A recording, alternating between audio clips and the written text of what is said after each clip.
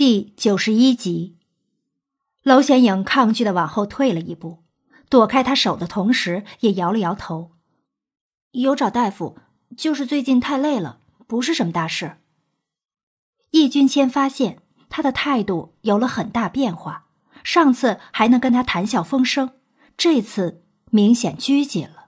“你怎么会来找我？”他看着他，奇怪的发问：“听黄甫臣说你病了。”我担心你。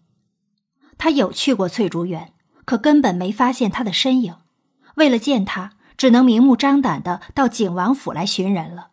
其实他也没抱多少希望，莫景浩会让他见着他。然而他现在出来了，莫景浩竟然也没跟出来，他就这么放心？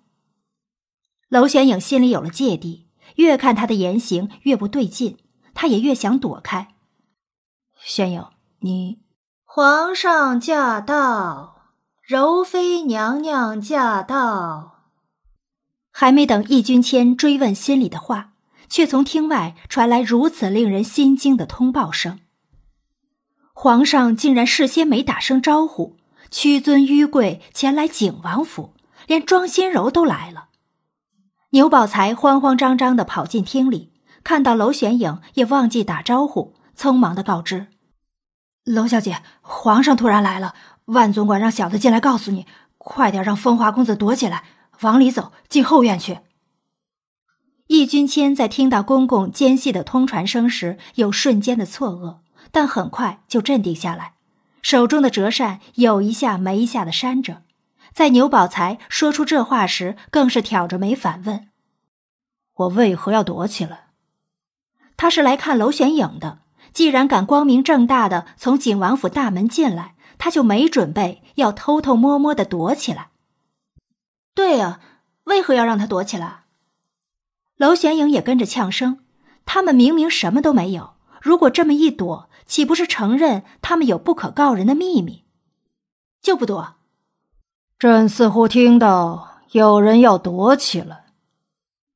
一身明黄色外袍的莫玄明在众人的簇拥下。大摇大摆的进了大厅，身后还跟着一身贵服的庄心柔，他的眼神毫无波澜，安静的走着。两名宫女替他拉着踏长的拖裙。参见皇上，皇上万岁万岁万万岁！大厅里的三人见莫玄明进来，同时跪下行礼，而且很有默契的忽略身后的柔妃娘娘。娄玄影并不想向他问安。易君谦自是没将他放在眼里，而牛宝才是跟风者，他们都没说话。身为奴才的他更是低着脑袋，当做不知情。莫玄明站定后，看到易君谦，先是一愣，很快大怒起来：“易君谦，你怎么会在这里？而且还是和娄玄影单独两人？朕上次警告你的话，你没听进去吗？”娄玄影嘴角一抽。什么叫他和易君谦单独两人在这里？牛宝才不是人，门外那些丫鬟不是人，真当他们在做什么苟且之事？臣不敢。易君谦嘴上说着不敢，可那语气显得很轻佻，也没为自己做过多辩解，让皇上更是气得直瞪眼。莫玄明越过他们，直接往首座上坐下，庄心柔跟在他身旁落了座。低眉顺眼的柔态，加上倾国倾城之姿，让人看了赏心悦目。可惜娄玄影对他不感冒，在心里问候了他几句。皇上出宫，他一个贵妃还跟着，而且跟来他老情人的府上，也不知道皇上是故意的还是无意的。娄玄影偷偷揉着微酸的腿，身子本就虚，现在还直挺挺的跪着。都要跪麻了，这皇上肯定是故意的。他们礼早就行过了，就是故意不让他们起来。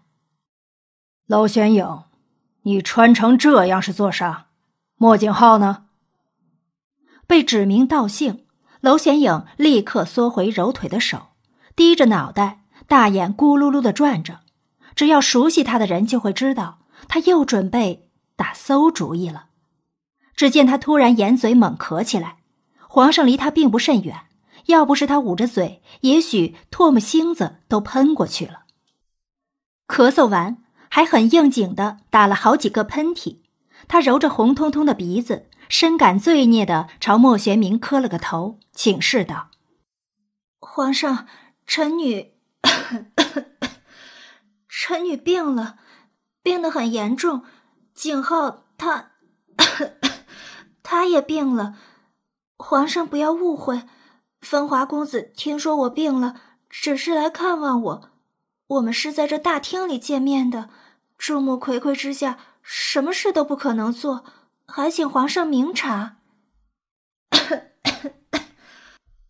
皇上，臣女的风寒是被景浩传染的，他在我面前咳了几次，从昨晚开始，我也跟着病了。为了皇上的龙体和柔妃娘娘的凤体着想，还请皇上允许臣女先行告退。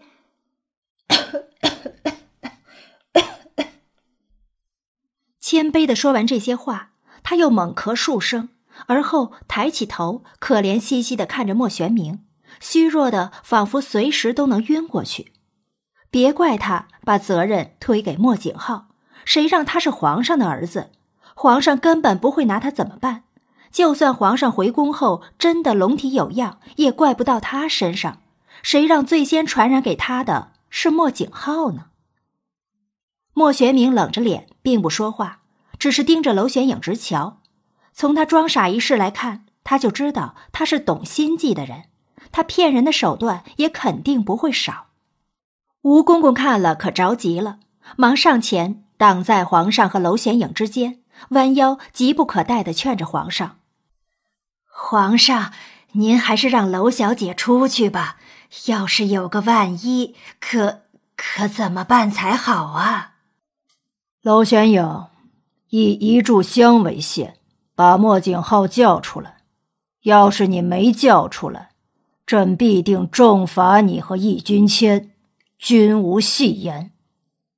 莫玄明说完。端起茶，轻拨茶盖，悠闲的喝了一口。一炷香，这分明是刁难他吗？他现在的身体这么虚弱，景王府这么大，他就是走回景轩院，都要花费近一炷香的时间了。